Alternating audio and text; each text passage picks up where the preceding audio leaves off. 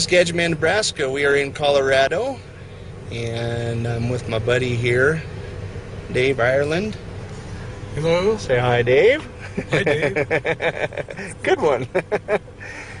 so, what did you think? Uh, we had done a Volvo for him. What year is your Volvo? It's a 93 Volvo Mhm. and a 99 Ford Windstar. Um, it sure has helped on the shifting. It's made things smoother.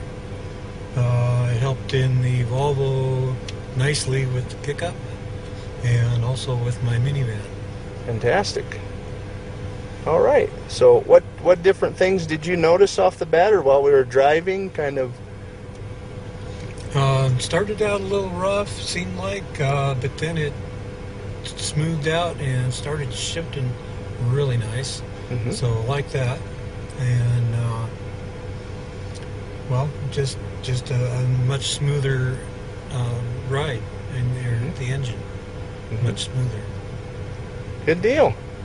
All right. Well, we'll just have to see what it does here after you get some mileage and Yeah, I'm looking forward to that. fill the gas up and Yeah, watch it go up.